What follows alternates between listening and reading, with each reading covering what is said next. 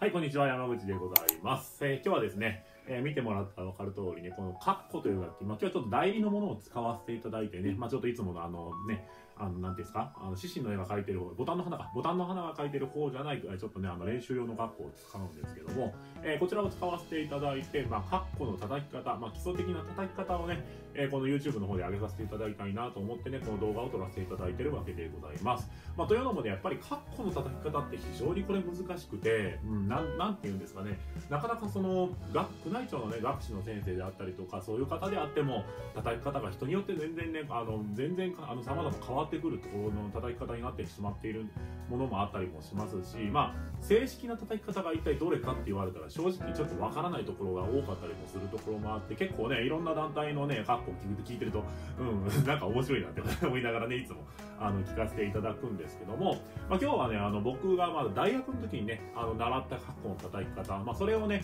この YouTube の方でちょっとね伝授させていただきたいなと思ってねさせていただこうと思うんですけどもおいおい山口よと。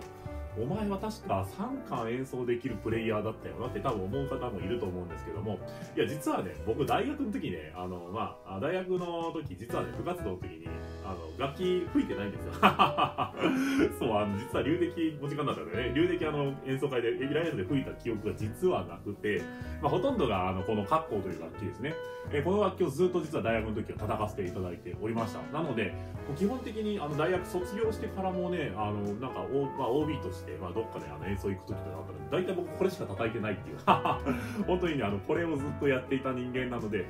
逆にね、あの、結構今、今でもたまに、まあ、たまにですよ、たまにね、あの、いな、いなかった時に呼ばれたりするってこともあるぐらいね、本当にあの、この楽器をね、ずっと専門でやっていたので、まあ、その分やっぱ教えれるのかなと思ってね、今日こういう動画を撮らせていただいてるわけです。はい。で、カッコですね、まあ、多分皆さんも、まあ、うちもの中でも一番まあ、偉い人ですよね、うん、コンサートマスターの方が叩く楽器だったりもするんですけども、今日はね、まあ、それの基礎的な、まあ、あの、楽器の、まあ、その、バチの持ち方であったりとか、叩き方であったりとか、まあ、こうすればいいですよっていうのをね、あの、この動画で、まあ、っくりとね、えー、説明させていただきたいなと思って、この動画撮らせていただいている限りでございます。はい、というわけでね、どんどんやっていきたいと思います。まずね、バチね、基本的にバチはね、この、えー、まあ、間に入ってるんですよね。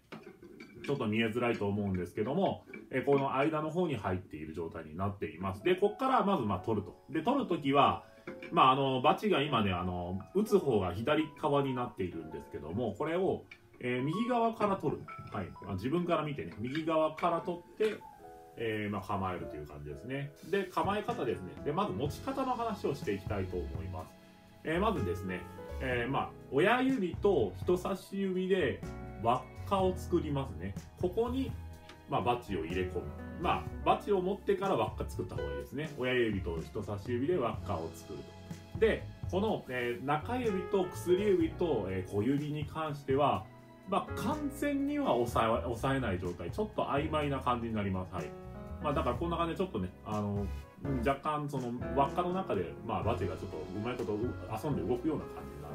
こっちも左手も同じです。左、えー、親指とえー、人差し指で輪っかを作ってでこの中指と薬指と小指はあの完全に安定はしない状態で持ちますで、えー、次に構え方ですね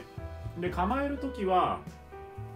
基本的にあの自分下から、うん、下から構える。こうねなんか横に構える人たまにいるとは思うんです。これ実はあんまりよくはありません。どっちかというと、え、下から構えて少しまあハの字になるような感じになった状態で、まあ、こうやってバッジをね湖面にまあつける。まあつけなくていいんですよね。こういう感じでやります。で、えー、叩き方はね基本的に3つあります。まず1つが、えー、右手のまあ1回だけ叩く「正」という叩き方。これ「正」という叩き方でこのコツとしてまず「えー、正」を叩く時に、えー、注意してほしいのは、え、手首からいかないようにするこれはね、手首からいかないようにするというところと、あまり力を入れない。もちろん入れないのはもちろん。どっちかというと、この、えー、肘あたりから、あの、手首を固定した状態で、肘から打つような感じで、プラス、イメージとしては、えー、転がすような感じで叩く。転がすね。転がすような叩き方をする打ち方をまず練習をするという感じです。はい、これをね、えー、もうずっと5分ぐらいやっていただいたらと思います。まあ、あのそんなやらなくてもいいです。けど、あのまあ、あのこれぐらいね、まあ、しっかりとあの打った時に、まあ、弾みっていうかそういうものが出てくるような感じの打ち方をするやり方をすると一番いいのかなと思います。で、えー、左手も同様にあのできたら一番いいのかなとあんま使うことないんですけどもまあできればできればあのできるようにした方がいいのかなと思います。全然やってないんでちょっと下手になってます。左手の方。これがまず、えー、一つ正という打ち方、うん、これに関してまず練習をしていくって感じですね。はい。でやっぱりコツとしてはさっき言ったように手首をしっかりと固定した状態で打つというところですね。これをまあ意識してやっていただければいいかと思います。で次の打ち方、えー、モロライという打ち方があります。モロライ、えー、これは両手で打つ打ち方ですね。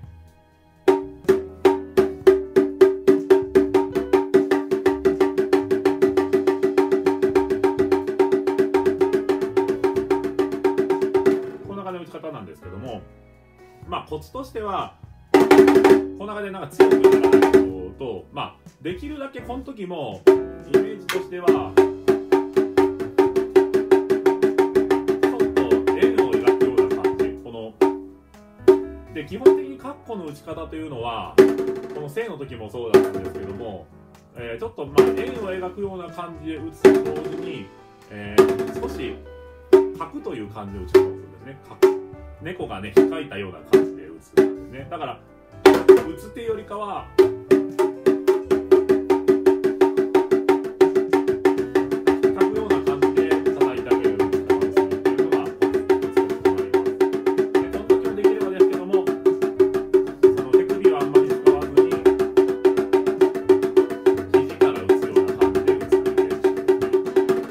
たまにねなんか右から行く人いるんですけども基本的にはモロライは左から始まります。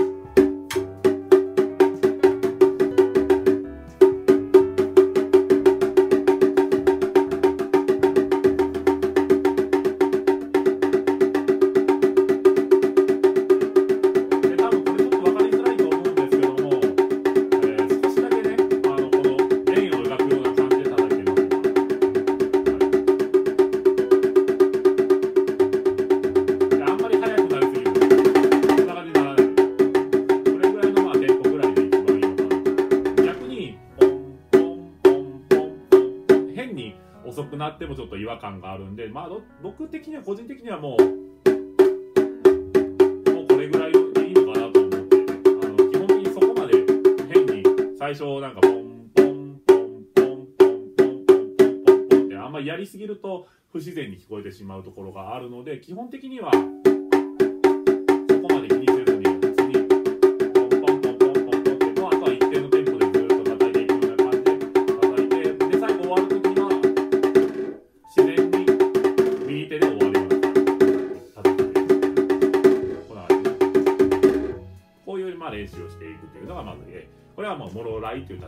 ね。で次が、えー、肩ライという叩き方、まあ、これは正の後にねよく使うことがあります。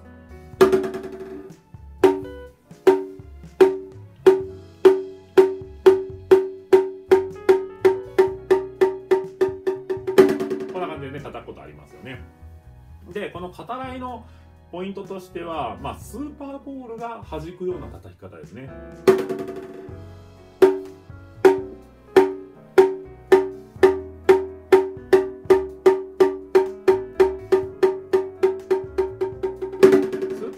基本的に何ていうんですかねもう最後最初ちょっとは飛び跳ねてね強く飛び跳ねてどんどんどんどんまああの弱くなってこういう感じでね弱くなっていて音もちょっとちっちゃくなっていくって感じで多分なっていくと思うんですけどもそれと同じような感じに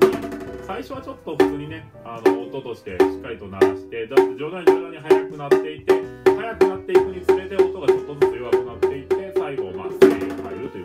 最後音がなくなるような感じになるような鳴り方をすると一番いいのかなと思います。で僕としては個人的にまあこれはあの個人でねいつもあのさせていただいてるやり方は、えー、まあ2泊目と3泊目にねこの方、えー、2泊目と3泊目と4泊目までが基本的にだからまあタイミングで言ったら1 2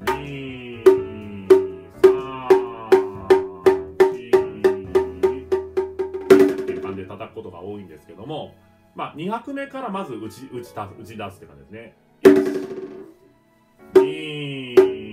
で、この3拍目ね、3拍目がだいたい4回目ぐらい、4発ぐらい打つのが目安が一番いいかなと思います。2、3と、これよ今ように234と。この4発ね。4発の部分で3拍目が来るようになるとまあ非常に形として綺麗にあの聞こえる形になりますので、それちょっとね、練習していただければいいです。これ還元だったら4発。例えば武学で、えー、ね、何行化した後、まあ、あの、2行終わった後とか3行終わった後ぐらいは3発いただくことがあります。なんで、例えば太平楽のね、3行目ぐらいだったら、知恵やらふろいらこういう3発になったりとかしますし、例えば、エテン楽だったら還元なんで、とらおるおみたいなここで4発にしたりとか、まあ、そういう感じでね調整しながらやっていくので結構還元の時はどっちかというとさっき言ったようにスーパーボール状になっていっていくんですけども、まあ、武学のさっきの3発になる時は若干少しスーパーボールの叩き方若干ちょっと違う形になるという形になります。はいという感じで、このね、えー、カッコの叩き方っていうのは今主に3つあると教えさせていただきました。まず、まあ、正というね、右手で一発だけ叩く叩き方。で、この時、まあ、コツとしては転がすような感じで叩いてあげる。えー、これをまずイメージしてやっていただければいいと思います。で、えー、まあ、この時ね、正を叩く時も、どっちかというと少しイメージとしては、なんていう、この手とこのバチ、湖面ですね。湖面で円を描くような感じで叩いてあげる。で、プラス転がすを意識して、でこの時は、えー、手首は使わないですね。肘からまあしっかりと叩いていくイメージでやってるこれはあの肘から叩くに関してはモロラインの時もそうですし肩ラインの時も同じようにやっていただければいいかなと思います。で肩ライが肩ライがモロライン。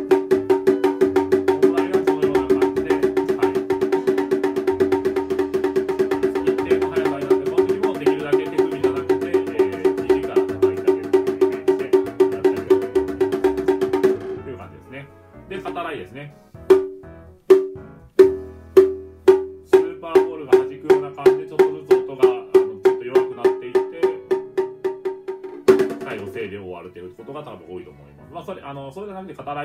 るってこともあったりもしますけど大体今イメージとしてはあのどんどんどんどんスーパーボールみたいにねはあのどんどん弾いていく音がどんどんちっちゃくなっていく。で特にやっぱり最初の方っていうのはやっているとこの、ね、最後の音がね残る人結構多かったりもします。ここをしっかりと残さないように。最後音がなくなるような感じで叩いて徐々に徐々に叩いてあげるっていうのが非常に重要なことかなとも思いますはいという感じでね、今日はざっくりとこのね、カッコという楽器の、まあ、解説の方をさせていただきました。まあ、基本的にカッコの叩き方っていうのは、あの、まあ、人それぞれのところもあります。これが正解かって言われたら僕もね、あの、すごい微妙なところだったりもするんで、僕はただね、今もこうやって叩かせていただいてるってことをね、今日はこの動画の方に収めさせていただいた次第でございます。はい、というわけでね、えー、本日もご視聴いただき誠にありがとうございました。えー、山口そいつの YouTube 雅楽教室ではね、このような感じでね、えー、初心者の方にね、少しでも雅楽を分かっていただける、まあ、そのためになるような動画をね、こうやってアップの方をさせていただいておりますのでね、ぜひまだチャンネル登録されてない方、ポチッとお願いしたいと思います。という感じで今日はね、これで終わらせていただきたいと思います。ご清聴ありがとうございました。